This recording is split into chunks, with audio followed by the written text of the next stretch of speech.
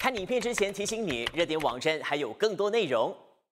本应该呵护儿童成长的机构，却爆出了性虐儿童事件。我国警方接到情报之后呢，在前天突袭了位于雪兰莪和森美兰州的二十家儿童福利院，发现里面有四百零二名年龄介于一到十七岁的儿童或者少年，沦为被剥削、性侵、虐待的受害者。全国总警长拉扎鲁丁呢，今天在吉隆坡召开了记者会。他说呢，这四百多名孩童或已经是第三或第四批次的受害者了。获救之后呢，目前被妥善的安置在吉隆坡警察训练中心，并在福利局和卫生部官员的协助之下，为获救者进行身体检查。拉扎鲁丁就说，初步鉴定，共有十三名儿童惨遭毒手被击奸，其中有一百七十二名孩子伤痕累累，身体满是新旧伤，而且呢情绪也不稳定，甚至有部分孩童有发育成长障碍。他说，其中十名患有残疾和自闭症的儿童，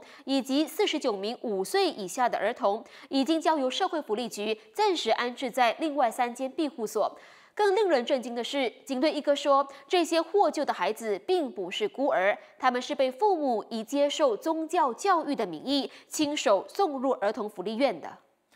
那根据警方说呢，被取缔的这二十家福利院隶属于一家叫做 Global Equine 的私人有限公司，简称 GISB。那很多受害。者的这个父母呢，他们都是这家公司的成员。这些孩子啊，多数在两岁的时候就跟他们的父母分开了，然后就被安排寄居在这个儿童福利院内。呃，没有上过正规的学校，只在机构内学习，甚至呢，已经很多年没有见过自己的亲生父母。他们的父母啊，则被这一家公司安排到这个沙特阿拉伯啊，或者土耳其等等国家去工作。那警方现在正在调查的其中一点就是，这父母跟孩子。他们的分开是出于自愿的呢，还是被强迫的？那到底这个 GISBH 集团是什么来头呢？根据他们的公司网站介绍呢，他们成立的目的是在教育、艺术、文化和畜牧等各方面推广伊斯兰生活方式，并强调将真主阿拉视为终极的爱，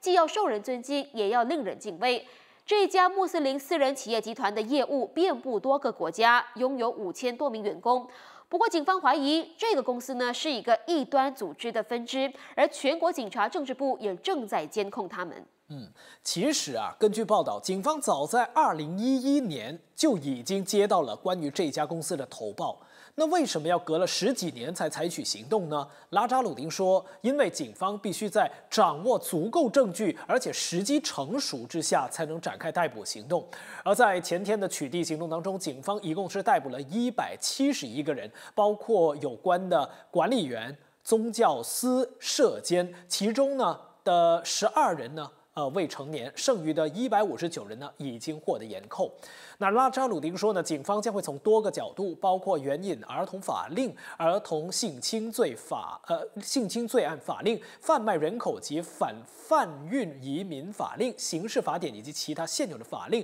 对这个 GISB 展开调查。由于案件呢涉及滥用宗教和儿童性侵，首相安华今天出席活动时就表示，这对穆斯林群体来说是件大事，而且事态严重。他说，除了让警方依据法律展开调查和行动，宗教机构，特别是伊斯兰发展局 （JAKIM） 也应当有调查、教育和给予建议的权利，不要再拖延了。首相呢已经促请相关机构立刻采取行动，展开调查并提交报告。